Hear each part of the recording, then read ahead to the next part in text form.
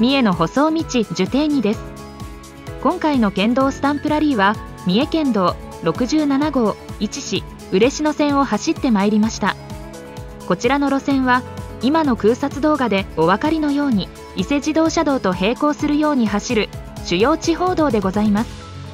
また三重県道15号上の交差点が起点で終点は30号上の交差点でございます。起点から終点で2倍になるのですね。この道が2号や50号または600号だったら楽しかったのにと思うのは受点にだけでしょうか。数字遊びは楽しゅうございますね。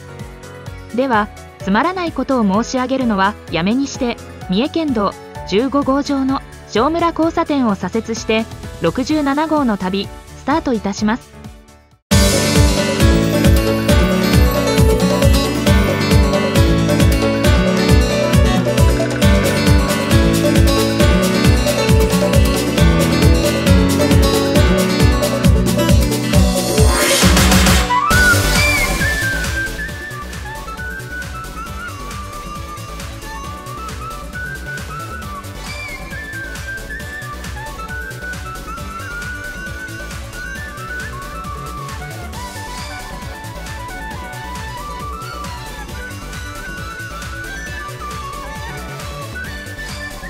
長谷川を渡ります。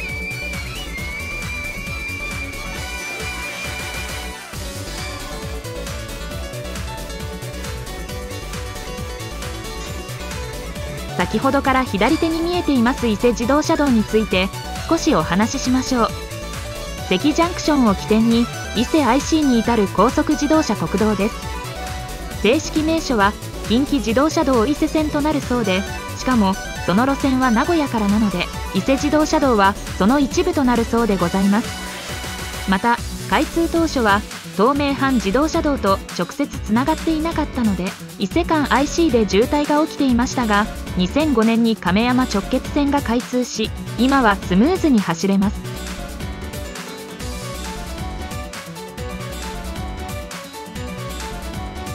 この先近鉄大阪線の踏切を渡ります。この踏切は大変でございます。なぜなら踏切を越えたところは退避所なしで県道58号と交差しているのです。さらにその交差点は直角ではなく斜めなのでございます。こちらから走ると踏切を越えたところで右手が見づらいと鍋尾さんはおっしゃっておられました。県道58号の動画もございます。左手から来るときこの交差点がどのように見えるのか。しかも番号の若い58号の方に一旦停止表示があるところもお見逃しなきをご覧くださいませ「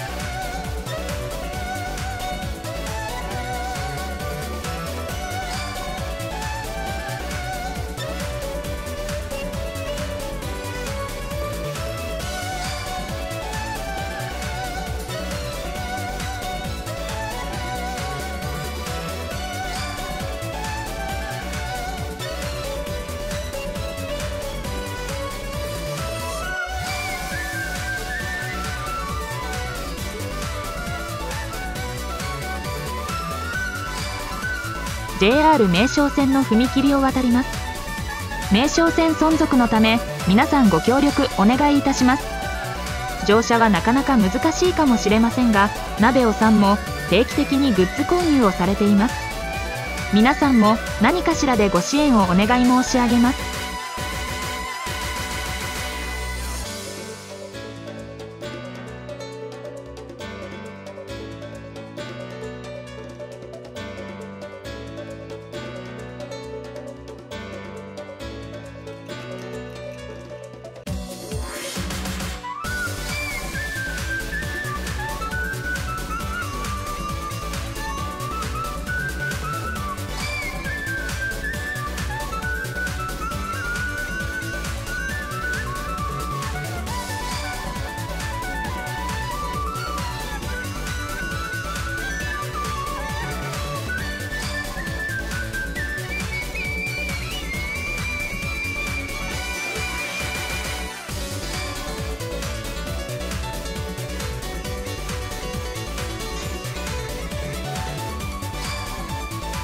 この交差点を左折すると三重県道145号天芸寺市市嬉野インター線です。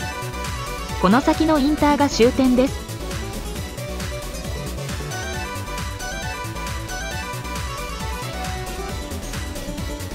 左折すると伊勢自動車道市市嬉野インターチェンジです。このインターは開発インターチェンジと言われ旧道路公団の事業ではなく地域工業団地の活性化のため第三セクターが設置されて作られたインターだと聞いております。そのように作られたインターの最初だったようですね。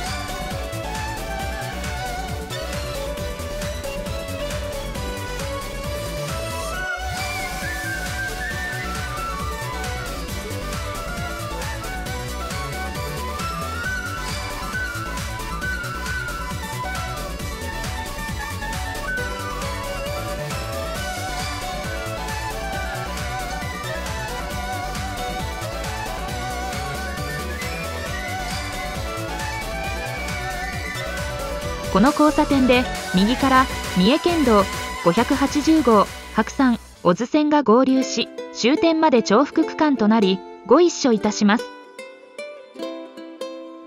この先の交差点で三重県道30号嬉野美杉線と交わりここが終点です。県道580号はここを左折して進みます。今回の動画はここまででございます。伊勢自動車道市市嬉野インターを利用する人は少ないと思われますがこの路線ちょっと遠回りして全線走破してみていただけると嬉しゅうございます。三重県の主要地方道も残すところ6路線となりました。この先県道スタンプラリーをどう進めるか考えなければいけないなって鍋尾さんはおっしゃっておりました。皆さんどうすればよいかヒントがあればコメント欄にお書きいただけたら嬉しゅうございます。最後までご視聴いただきありがとうございます。この動画が良ければチャンネル登録グッドボタンそしてベルボタンもよろしくお願いいたします。ジュテイ2の三重の舗装道でした。またお会いいたしましょう。